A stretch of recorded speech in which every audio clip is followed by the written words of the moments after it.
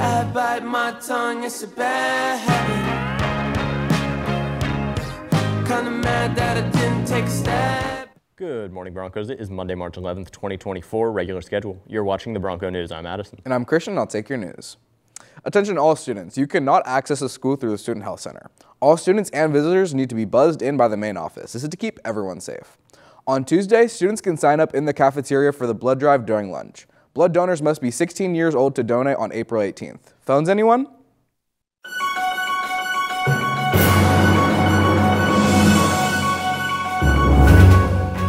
Hi, my name is Rosalina. Today I'm here with. Tiana Butler. And my question for you today is Some states are banning phones in schools. Do you think it would work in Oregon? I don't think it would work in Oregon because I feel as though a lot of our schools rely on technology to do a lot of the assignments that we're required to do.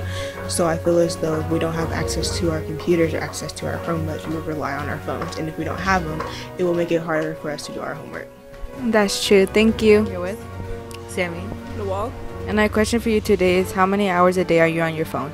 Um, eight. Nine. That's not bad. Thank you. Here with Allison. And my question for you today is How many hours a day are you on your phone? I'm on my phone for about six hours a day. Thank you.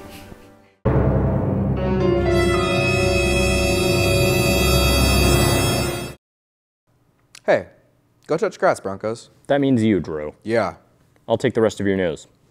Attention all ninth graders, the electives fair is this Wednesday during teacher access time in the gym. This is a great way to hear about all the elective classes at the school. Drew. And now, Jaden with Bronco Sports.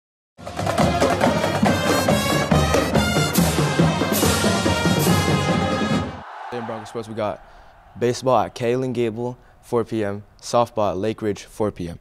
Now back to Addison with the rest of your news. Thank you, Jaden. Sophomore Career Day is Tuesday, March 19th. In the morning, you will attend the Northwest Career Expo and later take the pre-ACT exam. And now it's time for your daily dose of Bronco trivia. Let's see what we have for today. What nut is actually a fruit? Pistachios, chestnuts, hazelnuts, or pecans? I'm gonna go with pistachios just because they got a little sweetness to them, you know? Yeah, they, I, I feel like I feel like maybe it could be pecans, but I'm gonna go with pistachios. Yeah. Let's see what the answer is. And the answer is pistachios. I tasted that sweetness. You're not gonna call me crazy. I'm like that. Yeah. Let's see you next time, Broncos. And something bad is about to happen